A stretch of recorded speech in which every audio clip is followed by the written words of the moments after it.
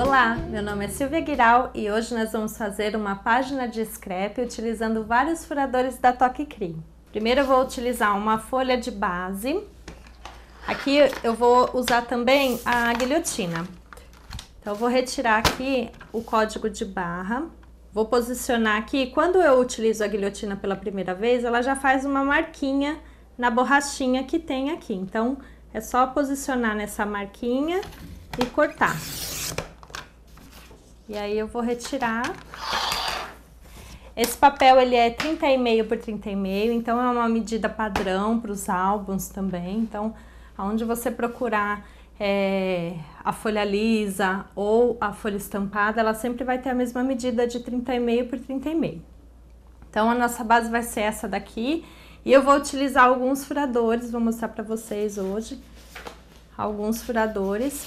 Eu vou começar aqui com esse que é o 360. Ele é um furador que ele faz um efeito super legal e ele tem uma regrinha. Então, para trabalhar com ele, eu preciso cortar o papel com 6 polegadas, um quadrado de 6 polegadas. Então, vou vir aqui novamente na minha guilhotina e vou cortar aqui. Viro o papel posiciono e corto. Então ele vai ficar um quadrado. A folha de scrap, você consegue fazer é, quatro quadrados dessa medida. Então eu vou posicionar, encosta bem o papel aqui no fundo e vou apertar. Furei.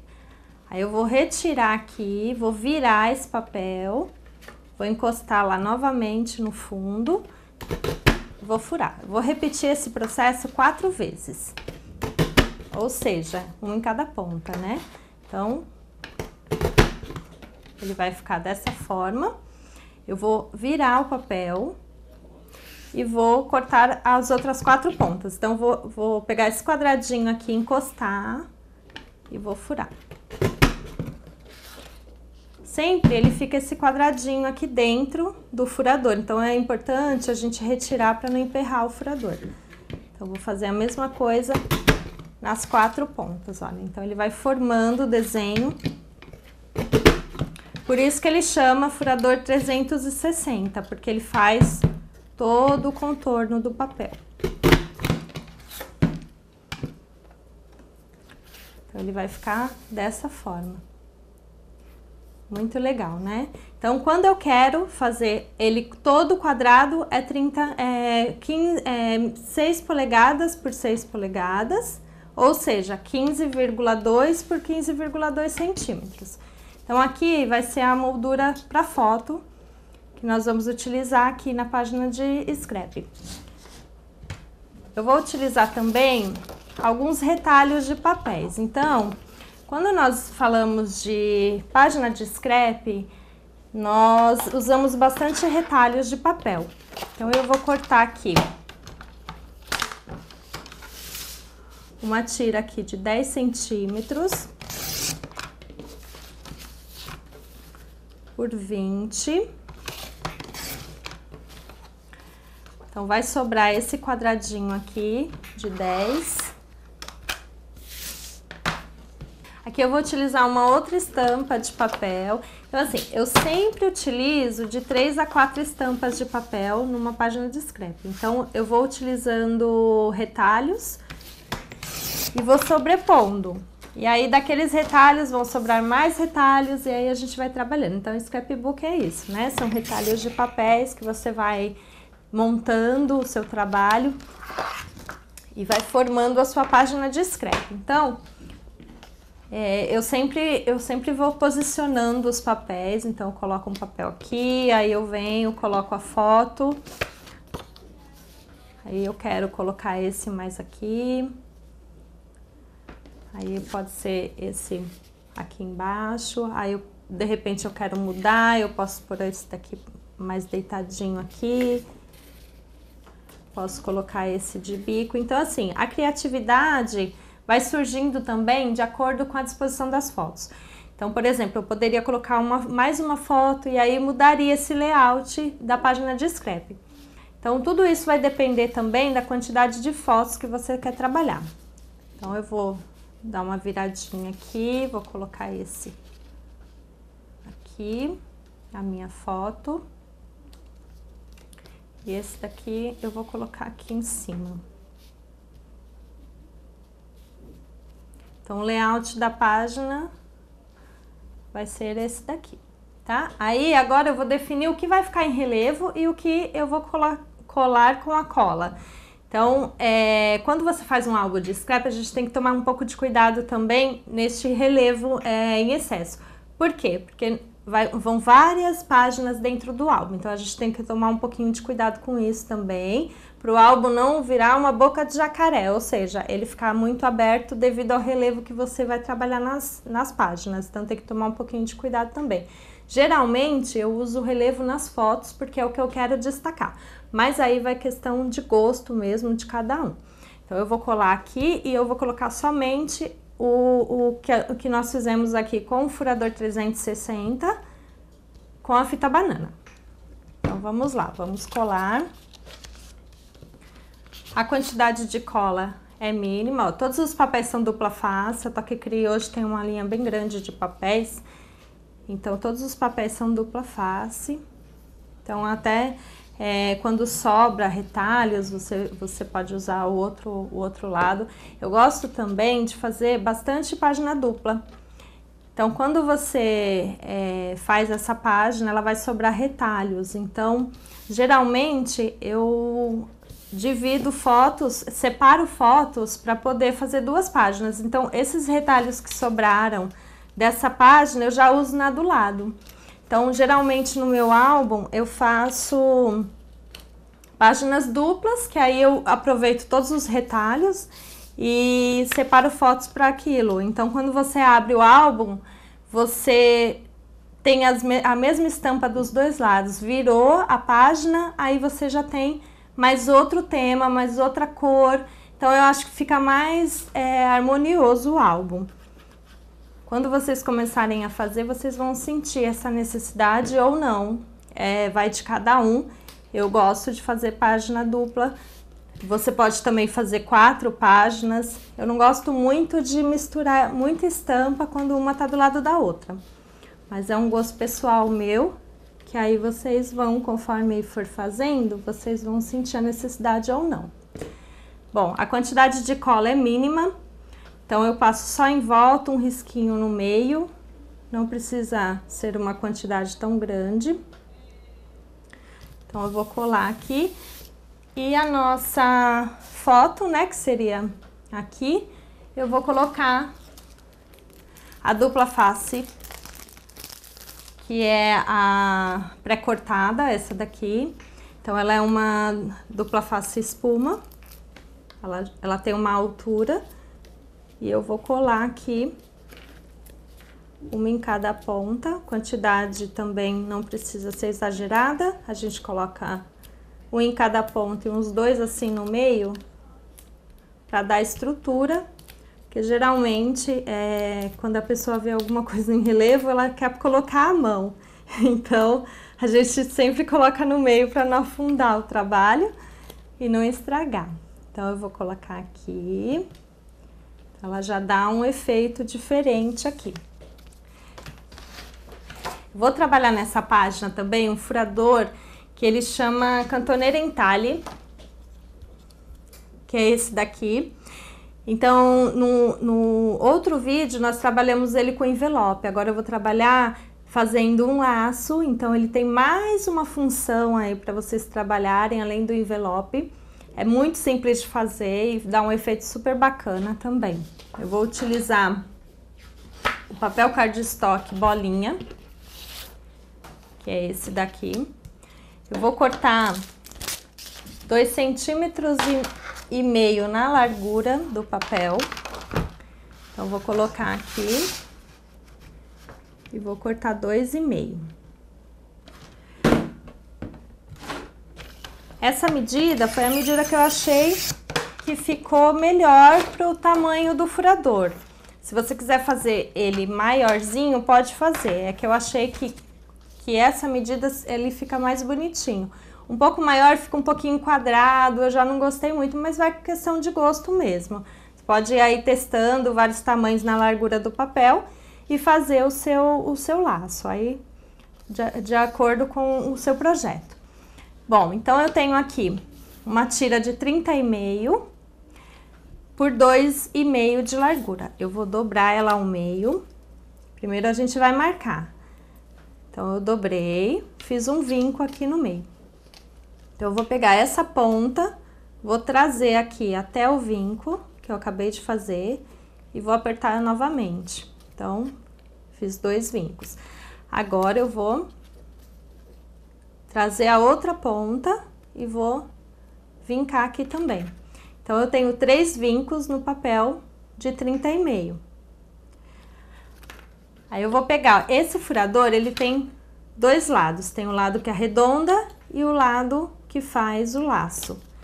O lado que faz o laço é esse daqui, que tem as duas orelhinhas no furador. Então, eu vou posicionar o vinco no meio do furador aqui. Então, eu vou furar e ele vai fazer o corte. Vou fazer novamente aqui no outro vinco e no outro. Então, vou fazer primeiro um lado, viro esse papel e vou fazer do outro lado. Eu tô encostando o papel até o fundo, tá? Então, dos dois lados eu encostei o papel bem no fundo do furador. Então, foi uma medida que eu achei que ficou o laço harmonioso e que também eu consegui entrar com o furador sem que um, um corte interferisse no outro. Na lateral aqui do papel, eu vou furar, mas agora de frente, a pontinha dele. Então, furei aqui. E furo do outro lado também. Dos dois lados. Agora eu vou pegar a dobradeira, que é essa ferramenta aqui. Então ela ajuda bastante, a gente usa bastante no scrap, encadernação. Ela é de um material próprio para você trabalhar com papel. Então ela, ela quebra a fibra do papel sem, sem deixar é, o papel todo marcado. Então eu venho e passo aqui levemente para dar o arredondado do laço. Então, eu passo só aqui nos dois do meio. Aí, eu vou passar cola no centro aqui.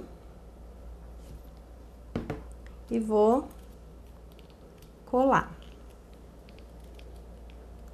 Dá uma seguradinha.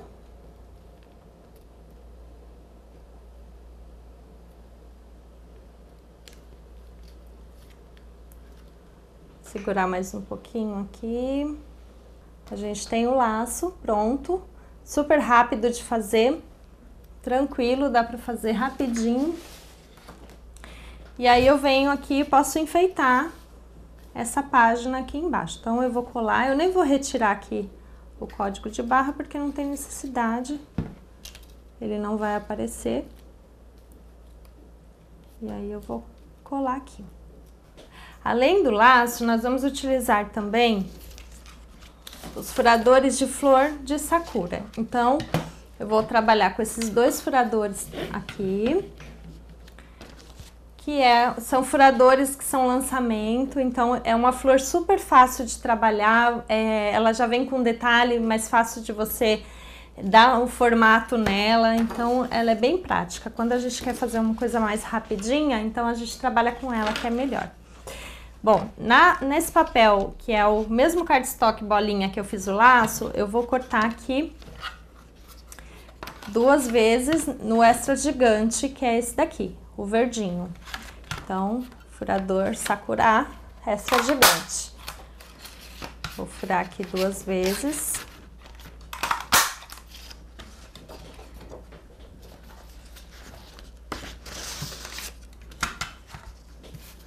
E vou furar aqui naquele, no, no perolado lilás, quatro vezes aqui.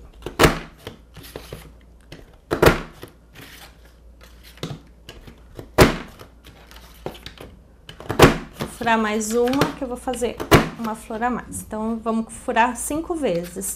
O ideal aqui é você furar sempre com a palma da mão em cima da mesa, para que o desgaste do furador seja igual em todas as partes.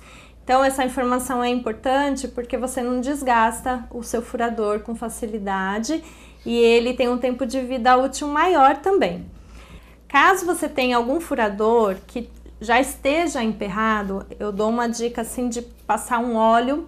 Ele é um óleo que vende nessas casas de ferragem, ele serve para fechadura. Então você pode utilizar também ele. Existe um silicone também, que é para fechaduras, que você consegue também utilizar aqui dentro. Mas o que eu mais indico mesmo é o pó de grafite, que ele limpa mais rápido o furador e, e, é uma manutenção. Então, de 3 3 meses, mesmo que o seu furador não esteja emperrado, é importante você fazer essa manutenção, que aí o tempo de vida útil dele vai ser bem maior. Aqui eu vou fazer a flor com, com um detalhe a mais. Então, ela já é muito bonita, já daria para trabalhar tranquilamente assim. Mas eu quero dar um movimento. Então, o que, que eu vou fazer? Eu vou apertar cada pétala para poder fazer esse volume e deixar ela mais bonitinha, olha só. Então, eu consigo deixar ela com relevo, com movimento. E por ela ter esse recorte na pontinha, ela facilita demais na hora de fazer aqui. Então, rapidinho a gente faz. É bem simples de fazer, de repente você quer fazer aí na sua casa com seu filho, né, com as crianças. Então, é super gostoso de fazer uma flor fácil e elas vão ficar super felizes de fazer um álbum aí de scrap utilizando os furadores, né? A criança adora furador. Bom, então aqui eu finalizei, já, já vinquei todas elas, né? Apertei todas elas. Então agora eu vou sobrepor então, eu vou colar com a cola. Aqui é importante fazer com a cola essa parte. Por quê? Porque ela já está com relevo. Se eu colocar muita fita banana, além do relevo que nós acabamos de fazer, colocar mais a fita banana, vai ficar demais e o relevo se perde. Então, a partir do momento que eu colo aqui, ela, ela mantém o relevo que eu fiz. Então tem que tomar um pouquinho de cuidado, que às vezes a gente acha que fita banana só dá relevo, mas às vezes ela dá o efeito contrário. No caso da flor, no, no caso da flor é isso que acontece. Então, a gente vai trabalhar com a cola aqui, sem a fita banana. Então, eu vou colar aqui uma pequenininha no miolo da outra e aqui eu faço duas pequenininhas para para compor aqui. Eu também vou utilizar esse furador também, que é um lançamento de passarinho. Acho que fica super lindo você colocar flores e misturar com pássaros. Então, eu vou furar ele aqui.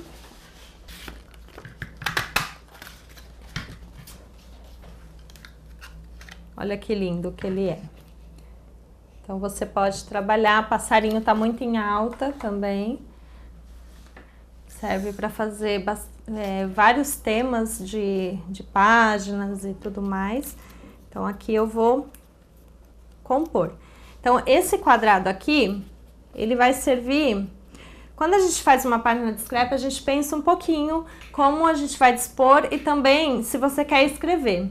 Então, é importante também a gente escrever na página, porque quem está vendo o álbum não sabe o que está acontecendo ali naquela foto, a data da foto, então isso é importante. Então, aqui nesse quadradinho vai o título ou o tema. Na hora que eu dispus as, as os papéis, eu pensei nessa parte para escrever. Então, eu vou deixar esse espaço livre e vou colocar a florzinha aqui na parte de baixo. Então, vou colar aqui, vou colocar a fita banana na maior e na menor eu vou colar com cola para ficar com relevo diferente um do outro. E o meu passarinho, colocar ele do lado verde para ele aparecer mais. Vou colocar ele como se ele tivesse aqui na florzinha.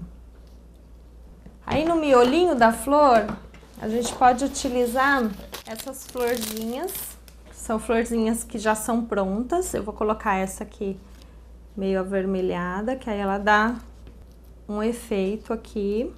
Ela enriquece o nosso trabalho. Então, vou colocar assim. Então, foto aqui e o, a gente chama de texto ou journal, que como é uma, uma técnica que vem dos Estados Unidos, então em muitas revistas é chamado esse texto que a gente coloca aqui na página de scrap de journal.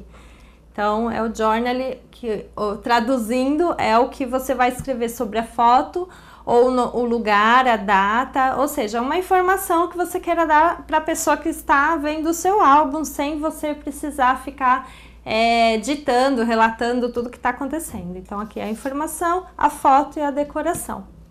Espero que vocês tenham gostado. Venha nas aulas de scrapbooking aqui na Selga, separe as suas fotos e faça um lindo álbum.